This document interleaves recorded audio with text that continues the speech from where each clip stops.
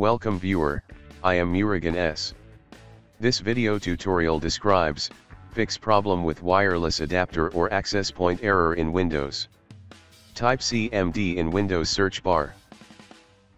Right click run as administrator.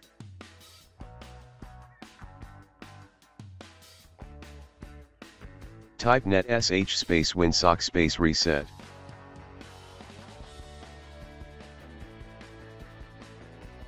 Net sh space int space ip space reset.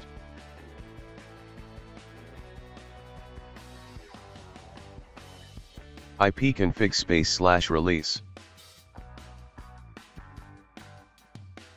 ipconfig space slash renew.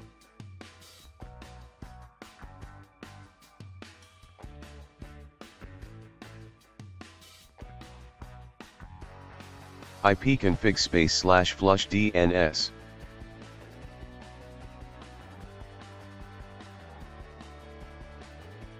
Type exit. Restart computer. Second method type services in Windows search bar.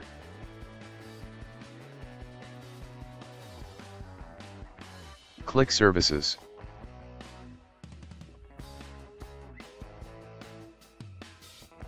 Open IP helper. Stop the service. Select disabled, click apply, OK.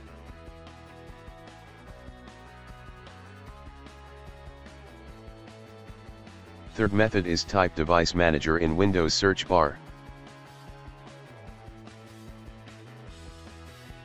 Click device manager.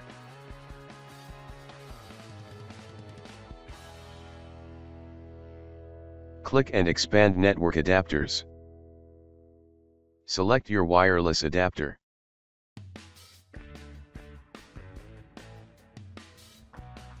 Disable and then enable device.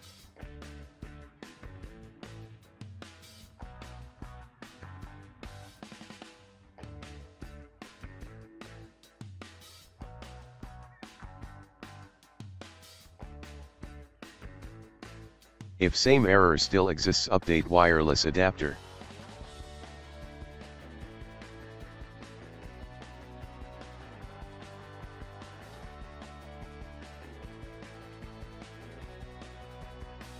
I hope this video tutorial helps to you, please like, share and don't forget to subscribe my channel, thank you very much, see you next video.